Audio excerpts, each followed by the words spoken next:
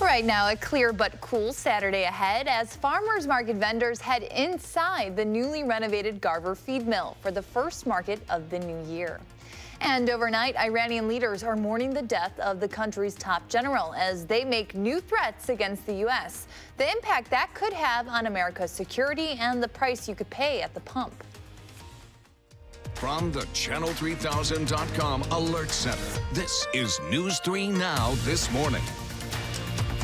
Good morning and thanks for starting your day with us here on News 3 Now. It's Saturday, January 4th. I'm Keely Arthur in with meteorologist Dana Fulton. Great to have you. Yes, I love mornings. I'm a morning person, so this is fine. This is perfect for you. I am more of a night owl, so I'll have to take your lead. We can switch at some point. Okay, that's deal. right now we're waking up to some clouds. Currently, that's going to continue to stay mostly cloudy for the next few hours. Uh, we do have some flurries actually around the airport, but by this afternoon, it's going to be really pleasant outside. We're expecting partly sunny skies and temperatures above average. There'll be a small chance for some flurries tonight heading into Sunday morning and then Sunday afternoon is actually going to be just a little milder. Temperatures just climbing right on up for this first weekend of 2020. Here's a live look with our Edgewater sky cam. You can see it's still cloudy outside. Temperature wise, we're close to 30 in the upper 20s right now around Madison along the state line. For those of you waking up in Monroe and Beloit, a little closer to about 31 degrees with a light breeze from the north northwest. Now we'll stay in the low 30s for a little longer. And then heading into this afternoon, we climb to the mid 30s. So not a big climb today. But once we get rid of this cloud coverage, we'll be able to enjoy that sunshine later this afternoon. And we've really had a mild start over the last several days of 2020. So the weekend uh, kind of lines up with what we've already been experiencing. Right. We're kind of spoiled. I feel like sometimes we have these days where it's really warm and then oh, they yeah. go away. But it looks like it might be still pretty mild tomorrow. Still pretty mild for tomorrow. And then also those overnight lows not dropping too low. That's always been a good thing. Yes. All right. Thank you, Dana. Well, we turn it over to Iran, where the country's President Hassan Rouhani visited the house of General Soleimani to pay his respects to the family of the prominent general killed by a U.S. airstrike. Rouhani spoke to Soleimani's wife earlier, calling the strike a, quote, big mistake and adding that killing Soleimani is one of the U.S.'s biggest crimes in history. Following Soleimani's assassination, major U.S. cities, including New York City, are taking immediate steps to protect key locations, although there are no credible threats right now. The NYPD commissioner said this morning that, quote, developments abroad are forcing the department to ensure the safety of New Yorkers. Iran is reportedly vowing forceful revenge in response to the killing. And a number of lawmakers are reacting to the President Trump ordered airstrike and his decision to to bypass Congress with that airstrike. U.S. Senator Ron Johnson said in a statement that Iran is the world's largest state sponsor of terrorism and that it's time the country de-escalates and pays for its terrorist attacks. And in a statement, U.S. Senator Tammy Baldwin acknowledged that General Soleimani was responsible for the deaths of hundreds of Americans, saying it's good he's gone. But she wants the president to explain to Congress and the American people his his plans to de-escalate tensions in the Middle East. Meanwhile, there is concern that gas prices could spike as a result of all this rising tension. AAA says there hasn't been an immediate impact on gas prices, but experts are closely watching trends. Right now, the price of crude oil is up within the global market, and AAA says we probably won't see that increase trickle down to Wisconsin drivers unless oil prices stay up for about a week. If the situation escalates uh, to the point where it does begin to actually impact oil production or distribution, get, getting the oil out of the Straits of Hormuz uh, into other areas of the world that need it, um, remains to be seen. About a fifth of the world's oil goes through the Strait of Hormuz, even though not much of that ends up in America. AAA officials say any issues with distribution in the Middle East will have an impact here. A suspected armed robber who barricaded himself inside a Rockford bank for hours with a hostage was taken into custody overnight. Shortly before 9 p.m., a woman who is believed to be the hostage emerged from the bank, followed closely by that suspect. Officers got her away from the suspect, then got the suspect into custody. Police said crisis negotiators were able to convince the man to leave the bank voluntarily. Police say the woman hostage was a bank employee and they don't don't believe she was injured. Police have identified the suspect as 39-year-old Nicholas August of Rockford. The situation started at about 2.30 p.m. when police said August attempted to rob the bank and over on State and Mulford Streets. Several roads in the downtown area of Rockford were closed for seven hours during that standoff. And law enforcement officials on the state line say it's still too early to tell the legal impacts weed will have in Wisconsin after it was legalized in Illinois. On Wednesday, recreational marijuana launched for anyone over the age of 21. Since then, the Rock County Sheriff's Office has issued two marijuana citations, but says the real challenge will be determining whether or not the drug was bought in Wisconsin or Illinois. We want to look for receipts. We want to ask them where it came from, and hopefully that'll give us some idea whether this is just the local problem that has existed for many, many years, or if this is related to this, this change across the border. Officials say it could take more than a year to determine the long-term impacts legalization will have on our state. More local news now. Car owners will want to listen up. Madison police have a new warning out about parts being stolen, especially if you drive a Toyota Prius. There's a nationwide trend to get valuable metals from a part in that vehicle called the catalytic converter. The price of metals found inside that part has recently skyrocketed, resulting in an increase in thefts. And if getting fit is one of your 2020 resolutions, now is the best time to save on a gym membership. During the month of January, health clubs are offering promotions and deals to win over the New Year's resolution crowd. If you're committed to getting into shape in 2020, experts say you don't have to overspend. Just choose wisely. Consumer Reports has these tips to help you pay a little less. Number one, sign up for a trial run. Most clubs offer free trial passes, so take some classes, try out the gym equipment, locker room, and see if you like the community. Number two, research prices and search for deals online. Discounted websites usually have major deals on fitness classes, trainers, and local gyms. And finally, negotiate a deal. Consumer Reports suggests you go straight to the gym's manager instead of a salesperson. They may be more likely to work out a better membership price for you. And if you need some fruits and veggies and cheese bread and a local farmer fix, the Dane County Farmers Market is kicking off its late winter market this morning at the newly renovated Garver Feed Mill. It used to be held over at the Madison Senior Center. Now, anyone coming out is asked to bring cash and their own tote bag. The market runs from 8 until noon today. And Badger fans are starting the weekend on a very positive note after the men's basketball team nabbed its first AP top five road win in four years. Ohio State entered the game ranked fifth in the country, but with less than two minutes to go in the game, the Badgers took the lead and never looked back. The Badgers upset the Buckeyes 61 to 57. Nate Reuvers led the team with 17 points and nine rebounds. Next up, Wisconsin will face the Illini Wednesday night at the Kohl Center.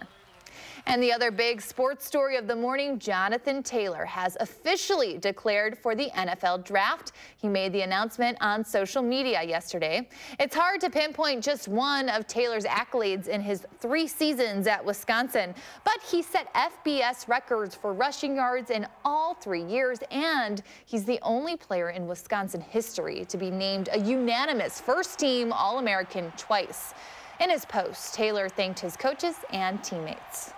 I would cherish the brotherhood and the friendships and the bonds that we've created through these three years. To the fans, thank you for making Camp Randall electric every single Saturday.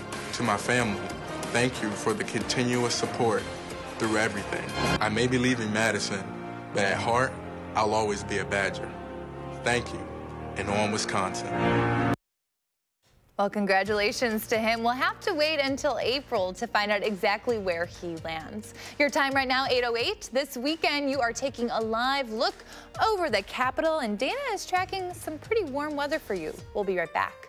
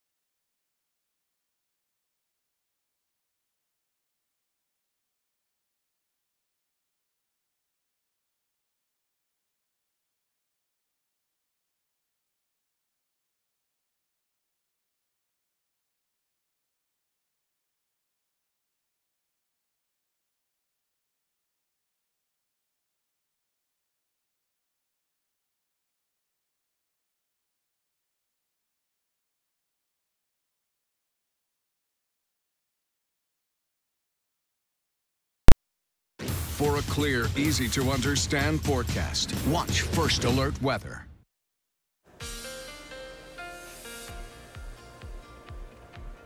Good morning, everyone. We do still have some clouds hanging out over us, so that means some areas seeing a few flurries. In fact, out here on the patio right now, we do have a few snowflakes falling on down, but you can barely see it and it's not going to really impact much of the rest of the day. We'll get these clouds out of here and then we get some sunshine in for this afternoon. If you're trying to head for a jog early, you may need an extra layer right now but otherwise should be fairly smooth this afternoon, partly sunny and temperatures above average. Same goes for this evening. And that's not just for running, of course, if you need to take the dog outside or just do any outdoor plans this Saturday. These light flurries currently not even being picked up on our high resolution Doppler. So it really is just some light snowflakes that you might see swirling around if you step outside or poke your head out the window real quick.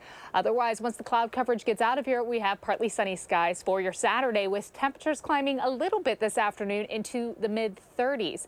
Right now we're close to about 30 degrees, so not a big climb with our temperatures today. Overnight we become mostly cloudy again, starting off your Sunday with a few flurry chances. Here's a look at about 8 o'clock. Notice most of that snowfall is going to be north of Madison. We aren't expecting any accumulation, but around the Dells, uh, you may be dealing with a little light snow at times passing on through. By Sunday afternoon, yet again becoming partly sunny with high temperatures close to 40 degrees. So a really big jump for Sunday afternoon. It's going to be very mild outside and, and really really just quite pleasant for this first weekend of 2020. Doesn't really feel so much like winter right now. For Monday morning, here's 7 o'clock as you're getting ready to head back into work. It does seem like we're going to have a pretty decent start to the day with partly sunny skies for your first day of the work week. No need for the Monday blues when we're having that sunshine. Right now, we're at 29 degrees in Madison. Again, there are some light flurries outside.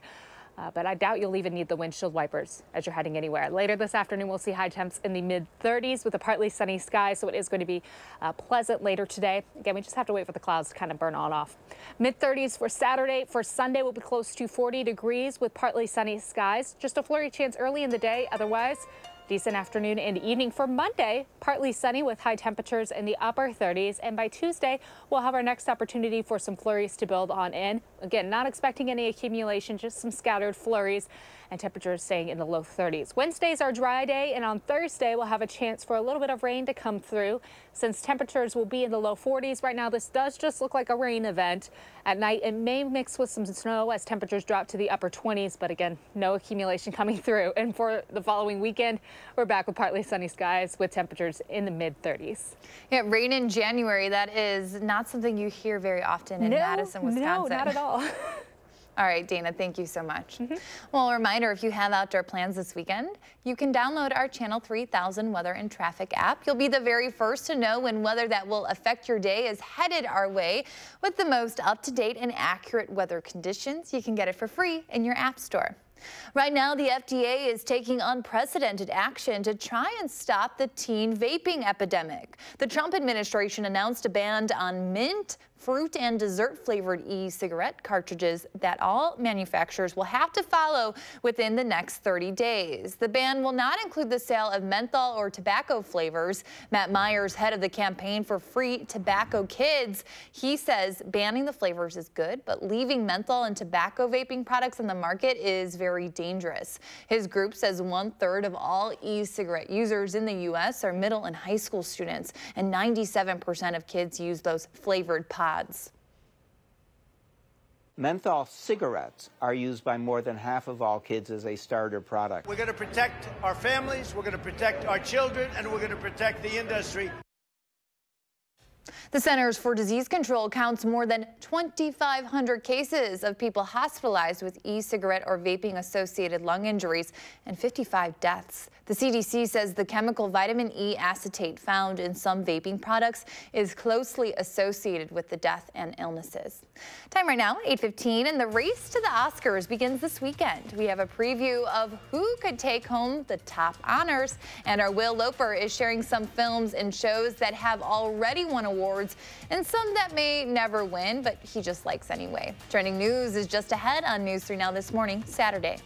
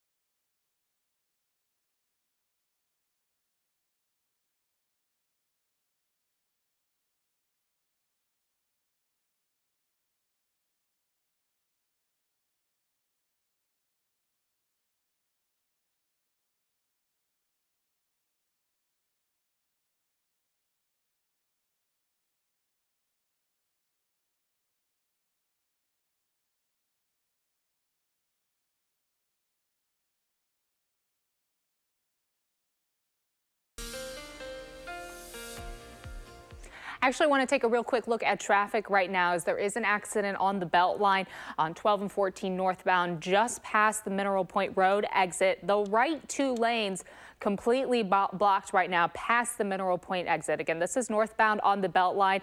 Uh, your best bet would be trying to get off and get around on Gammon Road at this time if you're trying to head northbound either up towards Middleton or up to Baraboo. If you're heading downtown, again, this is northbound on the Beltline. Accident about an hour ago, and the two right lanes still closed right now. Keep a close eye on it. Have another update in just a little bit. Keely? All right, Dana, thank you so much for tracking all that for us. Let's take a look at what is trending this morning. The number of films directed by women reached a record high in 2019. A new USC study found that more than 10% of last year's highest grossing films were directed by women, like Greta Gerwig's Little Women. Other box office hits directed by women include Hustlers and The Farewell. Two of the top 10 most successful movies, Frozen 2 and Captain Marvel, were co-directed by women, and that's a big jump from 2018 when just 4.5% of the top films were overseen by women. And you know them as Hansel and Gretel, but now it's Gretel and Hansel. This time, 16-year-old Gretel leads, Gretel leads her 8-year-old brother into the dark woods in search of food and work, but the two quickly discover they are not alone. Just like in the fairy tale classic, there's a witch and some magic, although this film gets pretty dark too. Gretel and Hansel hits theaters January 31st.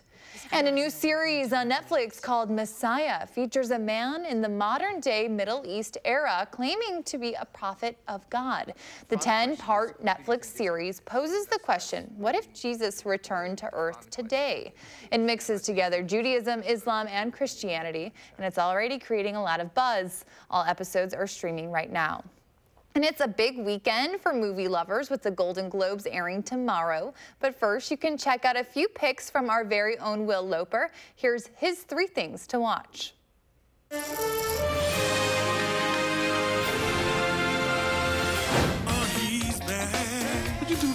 You look like a pimp. It's all pretend. I just created a character. Prepare for the Golden Globe Sunday by watching one of the films up for Best Comedy Picture and Best Comedy Actor. Dolemite is my name, streaming on Netflix now. All my life, people been telling me no. Rudy, sometimes our dreams just don't come true. A man slammed a door in my face. I just found another door. I want the world to know I exist. Eddie Murphy stars as Rudy Ray Moore in the true life story of a man trying to make his mark in the world. So he uses every ounce of his charisma and determination to make a movie. In storytelling, it's always best to write what you know. Ain't nothing to talk about my personal life. I deal with the nightlife, club owners and mobsters and lots of pimps and kung fu. Do you know karate? No, but I'm a fast learner. I can learn how to chop me a mother. Action. Dolemite is My Name is available to stream on Netflix now.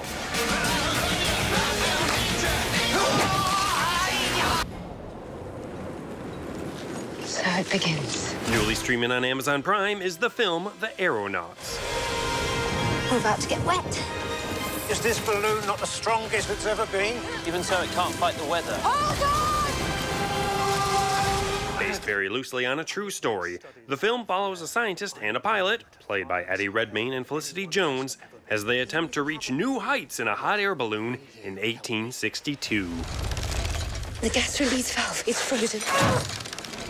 Stay alive. Stay alive.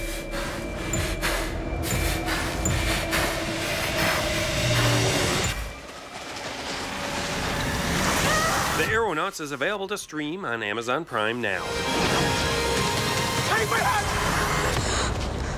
My name is Flint Lockwood, and I've always wanted to invent something awesome. Finally, today is National Spaghetti Day, so celebrate with Cloudy with a Chance of Meatballs. But when my little town fell on hard times, all anyone could afford to eat were sardines. And because sardines are super gross, this was my chance to show everyone what I was made of. Conversion of water into food. After his invention goes terribly wrong, Flint Lockwood must find out how to stop gigantic food from falling from the sky and burying him and the rest of the island residents. The machine has a mind of its own. We are about to be in the epicenter of a perfect food storm. No school! I've got to stop the machine. The fate of the world depends on me. No big deal. Cloudy with a Chance of Meatballs is available to rent or buy everywhere now. Happy watching. Those are the three things you need to watch, and this is Will Loper for News 3 Now this morning. And as we mentioned, the race to the Oscars begins this weekend with the Golden Globes. Streaming services dominated this year's nominations, with Netflix bringing in a whopping 34 nominations across film and TV categories. Netflix originals The Two Popes, The Irishman, and Marriage Story each received a nomination in the Best Drama category at the Globes. They're also strong contenders for Best Picture at the Academy Awards next month. When it comes to the acting categories, history could be made this weekend. Awkwafina is the projected frontrunner for Best Actress in a musical or comedy for her role in The Farewell. If she wins, she'll be the first Asian woman to do so.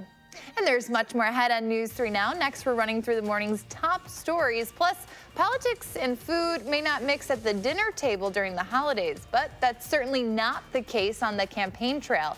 We're digging into the important role food is playing in this year's big race. We'll be right back.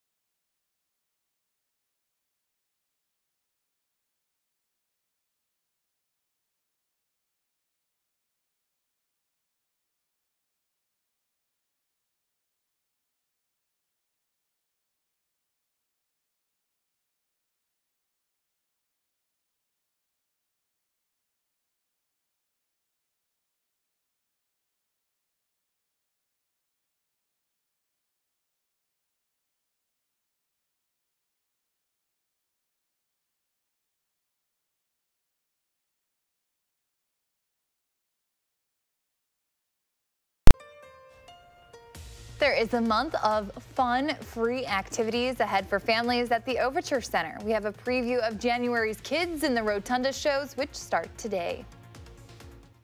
From the Channel3000.com Alert Center, this is News 3 Now this morning. Good morning. It's January 4th. I'm Keely Arthur. We're going to get a check of your weather and traffic with Dana in just a second. But first, here are three things to know as you start your day. Iran's President Hassan Rouhani is starting his weekend with a visit to the house of General Soleimani to pay his respects to the family of the prominent general killed by a U.S. airstrike. Rouhani spoke to Soleimani's wife earlier today, calling the strike a quote, big mistake. He also said that uh, Soleimani's ass assassination um, could spark major concern for U.S. cities. In New York, they are going to take immediate actions to protect key locations, although there are no credible threats. The NYPD commissioner said this morning that, quote, developments abroad are forcing the department to ensure the safety of New Yorkers. Iran is reportedly vowing forceful revenge in response to the killing. Meanwhile, there is concern that gas prices could spike as a result of these rising tensions. AAA says there hasn't been an immediate impact on gas prices, but experts are closely monitoring the situation.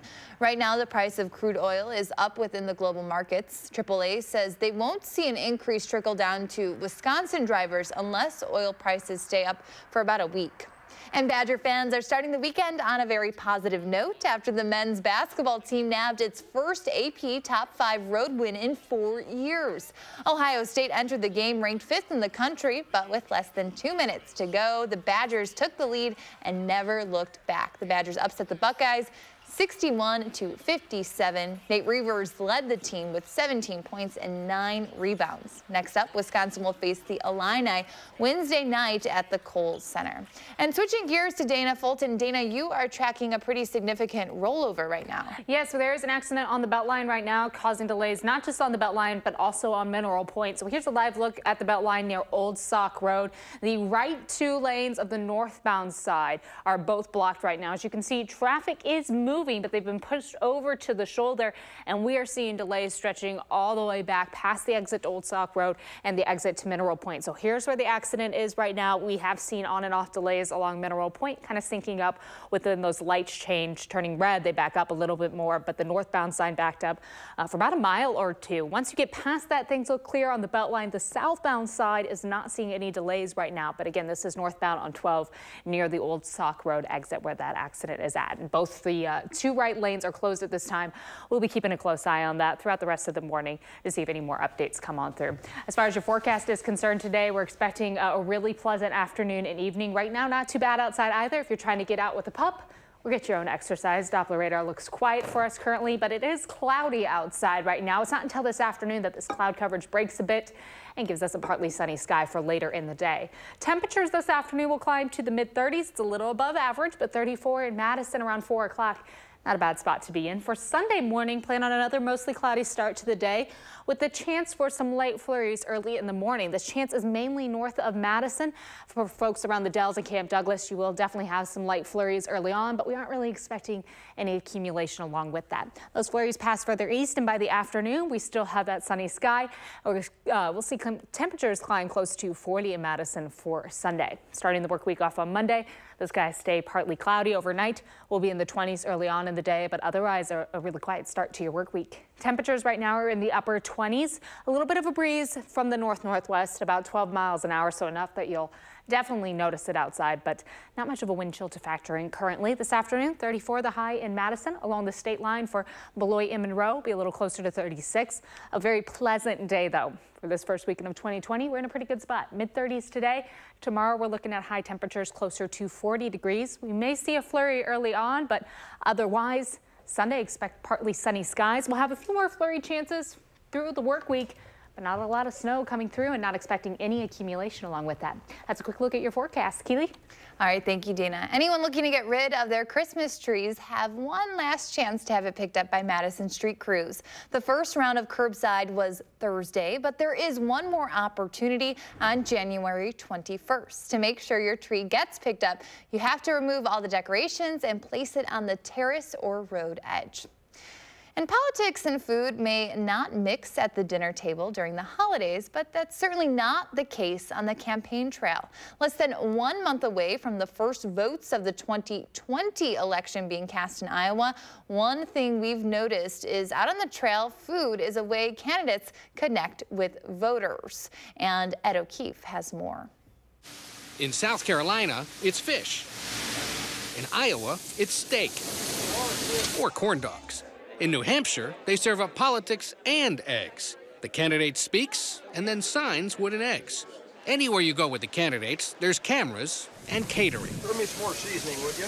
It helps draw a crowd, fuels the campaign, and offers the candidate a chance to connect with people. Let's not flounder. Let's get out there and kick some bass. The big thing with food is the idea that it tells us important things about who you are. Emily Contois is a food and media scholar at the University of Tulsa who studies the intersection of food and politics. With a presidential candidate, the hope is that by getting to eat with this person or seeing them eat a food from your local area, that you get a better sense of who they are as a person. But sometimes watching a politician eat can leave a bad taste in the mouths of voters. Remember when Gerald Ford ate a tamale without removing the husk? Or when George H.W. Bush said he didn't like broccoli? And I haven't liked it since I was a little kid. And I'm President of the United States. And I'm not going to eat any more broccoli. Or that time Gary Bauer fell off a New Hampshire stage while flipping pancakes. When John Kerry ordered Swiss cheese on his Philly cheesesteak, the city of brotherly love loathed him. And recently, Pete Buttigieg got fried online for slicing a cinnamon roll and eating it like a chicken wing. My hope is that instead of us harping on candidates when they make these mistakes, is that we encourage them to ask questions, right? When you go into a restaurant that you've never been to before, to say, I haven't had this, but I'm so excited to try it. Over the summer, we stopped in Columbia, South Carolina at the world famous Clyburn Fish Fry, hosted by House Majority Whip Jim Clyburn. It was his largest ever. More than 4,400 fish sandwiches served for thousands of voters there to see nearly two dozen candidates. Here we go. Moment of truth. Mm. That is good. Did you crash your test? Oh, of course you did. In Iowa, the state fair is a must stop for any presidential contender. There's corn dogs to eat, pork chops to flip, and ice cream to lick. In September, candidates headed back to Iowa for a local Democratic steak fry. And this weekend, you're catering for 10,000 attendees at the Polk County Democratic Steak Fry. How many of these steak fries have you been to through the years? Oh, I don't know. A bunch. While voters eat, candidates flip steaks and buy the beer and try to prove they've got what it takes. Are the crowds coming for the politicians or are they coming for the food? Uh, I think the politicians are like a la mode. Little food joke. Senator Amy Klobuchar thinks that catching up with voters over a meal is essential for any politician. They may do it over a root beer float or over a Tiny Tim donut, but they talk to you. And that's what you want to have as a politician. You don't want to become so insulated that the only people you hear from are on Twitter feed. And that's why I think it's so important to go to things like state fairs and eat the food with the people. January is the start of a new decade and a new year. So if you're looking for a great way to kick it all off, you can head over to the Overture. Mary Rose Eckberg is back in studio this morning with a very jam-packed lineup. Good morning. Thank you for having me back. So you said that you have a lot to run through. So let's start right now. Yeah, so this month in January, we're starting off after the new year with Truly Remarkable Loon, who will be teaching audiences about the laws of gravity in his fun-filled juggling and comedy show. After that, the audience is invited to check out our indoor playground, which is courtesy of MSCR's Fit to Go program. And then next week on January 11th, we will be presenting Monkey Business Institute in the Rotunda, which is a huge local favorite. Um, that's an improv comedy show. So the fun thing about improv is that every show is different. So if you want to come back for multiples, you are always welcome to. Um, and there's going to be lots of chances to get on stage at that show. After that performance, the audience can check out free family yoga, courtesy of Little Ohm, Big Ohm. Those are 30 minute sessions between the shows. And then the following week, we have visiting artist Daniel Barish, who's coming all the way from California to be with us. And he will be presenting a participatory shadow puppetry show. And this is a show that we have uh, not had in several years. Um, so it's really exciting to have him back. And after that show, the audience can go across the street to Madison Public Library for art activities. And we're going to close out January with all this stuff going on with our annual Silly Sing Along with David Landau on Saturday, the 25th. So many fun things. And you're yeah. right, that is a long list. And I mean, January can be kind of one of those months where you're stuck inside a lot, Mhm. maybe a little stir crazy. Was it strategic for you guys to really have a jam-packed schedule? Yeah, I try to do as much as I can in January because I know if the weather is bad, people are looking for stuff to do indoors. Um, and the audience is always invited to come early. We do have a little library in the room, courtesy of Reach a Child. They provide all these books for us. We just restocked it, so there's a ton of new stuff in there. So the audience can check that out if they want to get there early and let the kids run around and read before the show. That's amazing. And are parents very receptive to this? I mean, do, are, do these get very busy? Yes, um, this is the time of year where I expect almost every show to hit capacity, um, which is 365 people. So we definitely recommend that you get there early. We open the space 30 minutes before every show, um, and we are working on some strategies going forward to try to figure out how to help people still see the show if they can't get there. So stay tuned for that. Oh my goodness, so many great things. Thank you so much for joining us. Uh, Great tips for parents, great way to get kids outside or at least outside for a little bit and then back inside for Yeah. some really great things. Thank exactly. You. Thank you. Well, lots to do for kids and adults alike this weekend. An SNL comedian is in town for several shows at Comedy on State, and local theaters are showcasing some popular bands. Your Weekend 608 is next on News 3 Now this morning.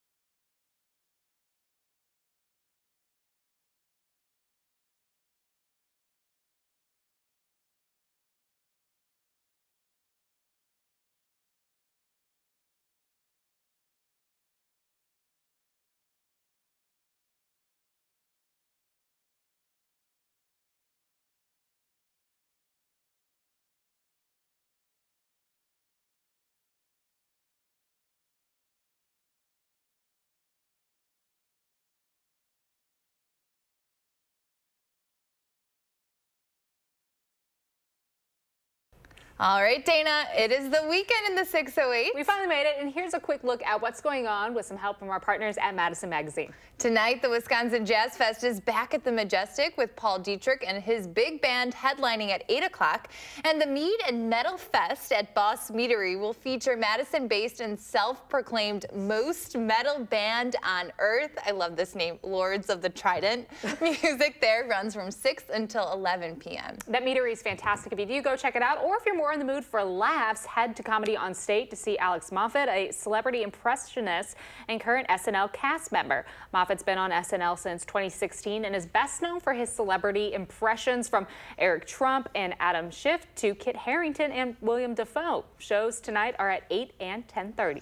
And you can head over to the Overture Center this weekend to catch longtime local juggler, comedian, and family fun maker, truly remarkable Loon in action. Besides promising to spin plates and unleash spinning monkeys, Mr. Loon will pay tribute to Sir Isaac Newton and the laws of motion. All three performances are free on the Overture's Rotunda stage. You can catch them today at 9:30, 11, and 1. And of course, for all the best in the Madison area, pick up a copy of this month's Madison Magazine. So many fun things to do. The farmers market is back too for the first time in 2020 at a brand new location over at the Garver Feed Mill. And that means the square right now is all there. I'll take a look at your full forecast next on News 3 Now this morning. But before we let you go, let's turn it over to Look Who's 3. Happy birthday to all the children celebrating today. We'll be right back.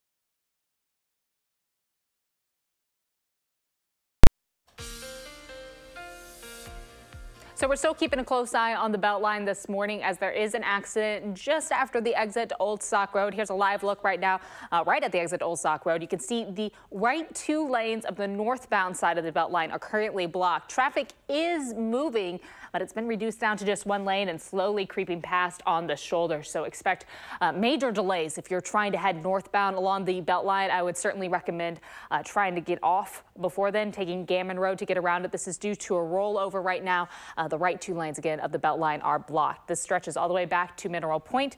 Uh, you can see those delays. Traffic still moving, but it is slowly creeping through. And then things, once you get past that accident, look fairly smooth along the Beltline right now. As far as your weather is concerned this morning, we're really looking at a great morning for our, our weather conditions. This is Charlie in Fort Myers. Um, I believe that Charlie did not like the penguin. Maybe he did. He's smiling, but uh, the penguin has now been shredded across the floor. Temperatures this afternoon will be in the mid 30s if you try to get out with the pet this morning.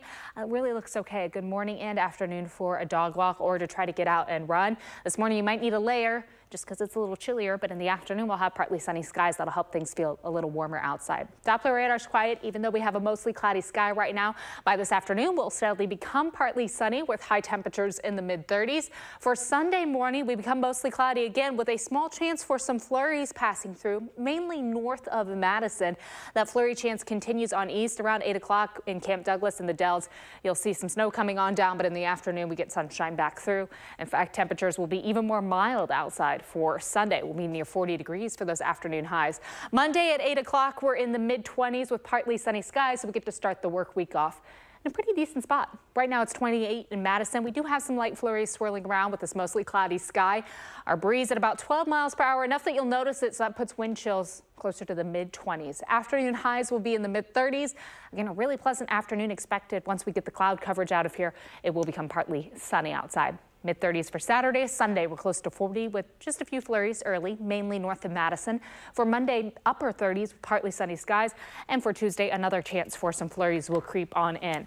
Our next opportunity for any measurable precipitation will be on Thursday. And right now, it does look like rain as temperatures will be in the 40s in the afternoon. That's a quick look at your forecast. All right, thank you, Dana. Well, we've been asking you to share your morning with us and check out this gorgeous photo sent in from Mel Thompson. This is a sunrise from Kansas. What does your morning look like? You can take a picture and post it on the Channel 3000 Facebook page or on Twitter using the hashtag MyNews3Morning, and we will share our favorites right here. And you can stick with News 3 all day long. And then tomorrow morning, we're talking New Year's resolutions with a local dietitian. Her top tips to help you beat the odds and stick to your health and weight loss goals. But first, meet the 11 year old boy from Minnesota who can see clearly now and is helping give others the gift of sight. We're back in a moment.